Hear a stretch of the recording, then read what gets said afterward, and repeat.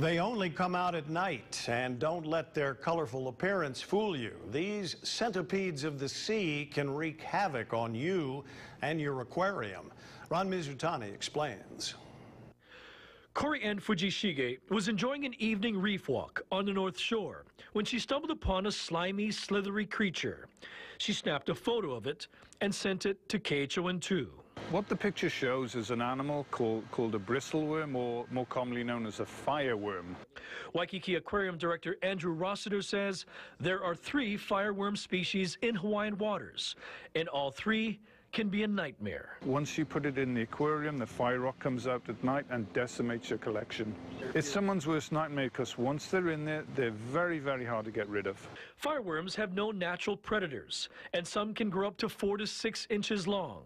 They're on every reef in Hawaii, but they live under rocks and inside the, the reef structure. But at night they come out to feed, and they feed on uh, small invertebrates, corals, anything like that. These fireworms are only a couple months old, but don't let their size fool you.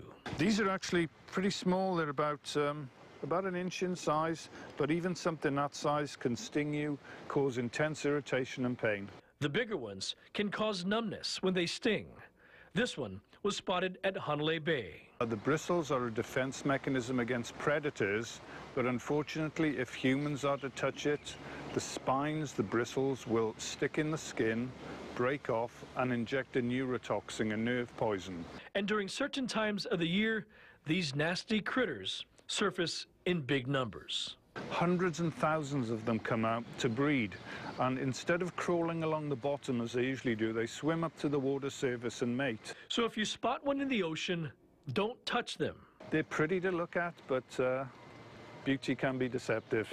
But if they show up in your aquarium, it's best to remove them immediately. Think centipede when you, when you see these. Ron Mizutani, KHON 2 News.